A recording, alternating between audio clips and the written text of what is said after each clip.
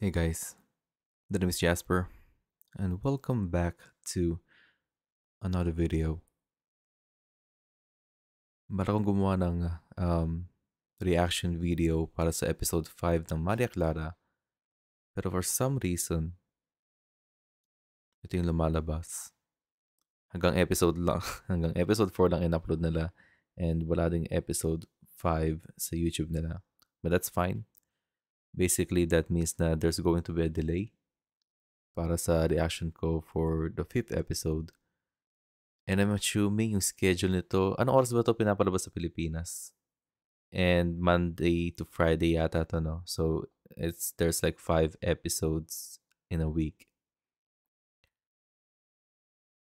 Anyways, um, just um, that's just a little update about that. but the main purpose of this video I when I did the reaction video sa trailer ng Maria Clara Tibara, some people told me to watch Amaya, Indio, Sahaya, Legal Wives, at Ilustrado, which are all like um, GMA dramas, pero ang setting nila ay way in the past. At lahat ginanap sa Pilipinas. So, to keep in touch with the team of Noli Me Tangere, I decided to do an entire reaction of the entire series of Ilustrado. And I am really excited about this one because first, narinig ko na tong Ilustrado na to Okay, narinig ko na yan. There was this, because sometimes magsisearch ako ng about history. And then, I've seen clips of Jose Rizal being played by Alden Richards. And galing daw sa Ilustrado yon. All this time, akala ko Ilustrado is just hindi sa isip ko hindi siya show. I mean sa um at the back of my mind hindi siya show pero yung parang parang documentary lang about history and you know 'di ba sa mga Filipino um parang yung parang mga rated K and uh, Jessica Soho parang nire-create nila yung mga yung mga scenes right with with act um with actors and everything. So I thought parang documentary lang yata to about sa Pilipinas at nirecreate lang nila yung Jose Rizal stuff with Alden Richards. Turns out, um, nag-research ako kanina, isa pala tong show with 20 episodes. Huh. So I decided to um, put it in my watch list and start watching it either today or tomorrow. At yeah, gagawa akong reaction sa bawat episode. And yeah, panoorin na natin yung trailer ngayon. Hindi ko pa to nakikita, so I don't know what to expect. Pero I do know that it's 20 episodes. So, panoorin na natin to. In 3, 2, 1.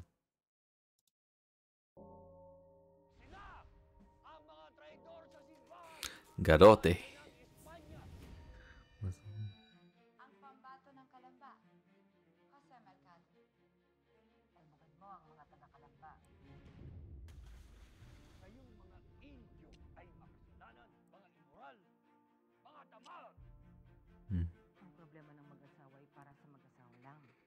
Magandang pakialamera. Ang kaalaman ay magdadala sa iyo sa kapahamakan. Ganyan sa bayang ito.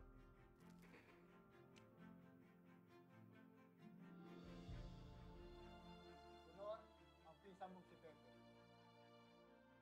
Siya ang pinakaligilim ng lahat. Ganda. Ang naririkip ng mga mata. Mukha siya na isang birhen. Sino man ay karapat dapat ay padala sa Europa. Walang iba kundi si Pepe po yun. Mas makikinabang po ang ating bayan.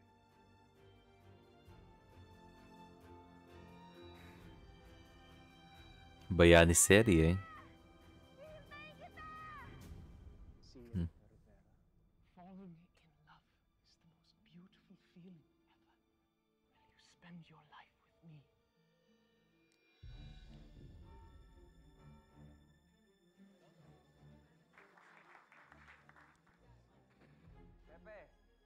na kitang hindi makilala. Akala ko may isang pulubing napadpad dito. Huh. Siya, pinakamatindi nating kaaway. Akin! Ang lupain ito! At walang sino man ang makakaagaw nito sa akin!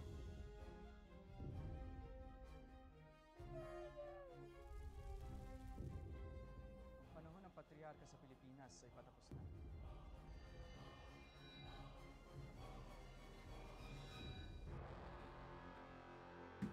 Uy. Kailan? October 20. A few days from now. Joke lang. Okay. Noong 2014 to pinalabas. Ha. Ha. Hindi pa naman makapaniwala na even though I like Philippine history, wala akong idea talaga na yung GMA gumagawa ng mga ganitong shows. Turns out, meron pala tayong live action na show na base sa buhay ni Rizal. And this will be good kasi I haven't, I don't know anything about um, Jose Rizal's work. I mean, not work, pero life.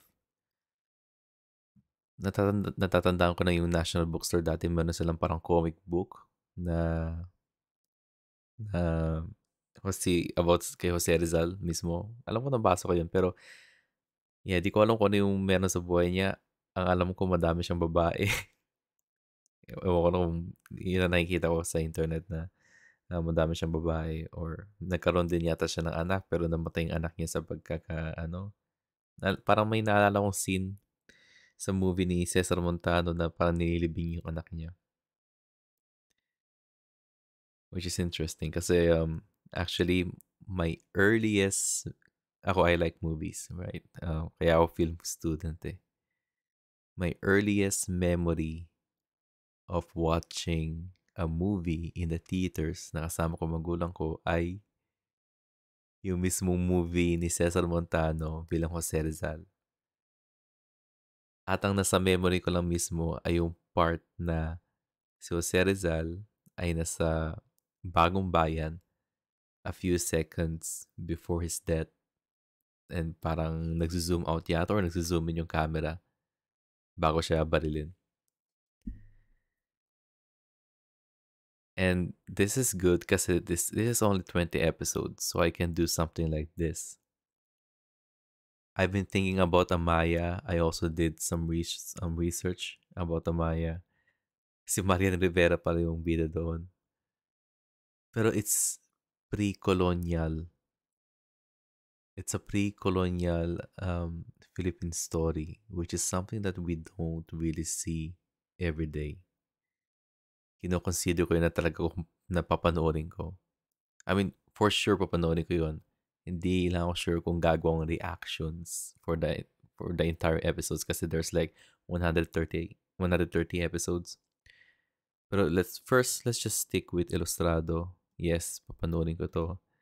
Na I, I'm I'm seeing familiar faces. And I'm assuming that this is going to end um by his um kung kailan namatay si Jose Rizal.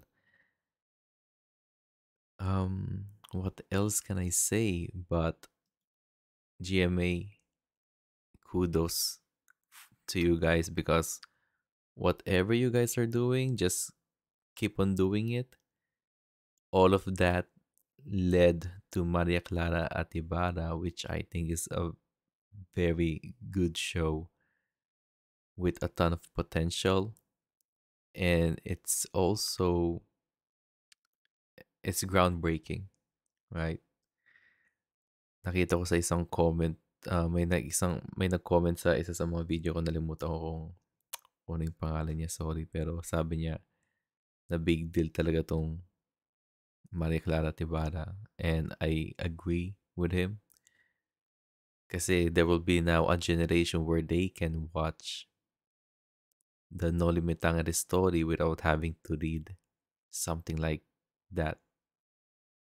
Or at least become aware of the uh, Maria, um, uh, become aware of the No Limitangere story without having to be bored, right? Because it's easier to watch something than read something. And of course, we have to thank the guy who, of course, who of course wrote the story itself, Jose Rizal. So yeah, papanoorin ko to. I might start watching it tomorrow or around this month. One episode per week. So we got like 20 weeks.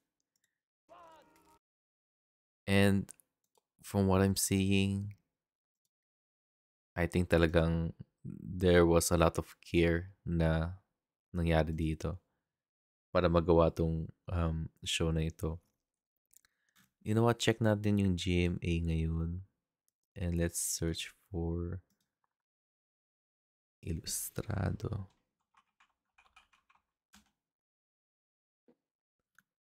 Wala dito. Baka nasa ibang um, GMA 9. Ito. Subscribe na lang dito. Guys, by the way, subscribe to the channel for more of these reactions. Thank you so much sa suporta. We're almost about to reach 3,000 subscribers. So I am please help me reach 3,000 by the end of this year. And again, thank you so much. Let's search Ilustrado. And tignan natin kung nandito ang buong episodes. yep, 20 episodes. Nandito lahat. This is good. Papanoorin ko to lahat with all of you guys. And yeah, it will be my first time watching this. Huh. And again, that's my reaction to Ilustrado. Um, I just want to give thanks again to GMA for releasing a lot of their episodes in full glory without having to pay for anything, right?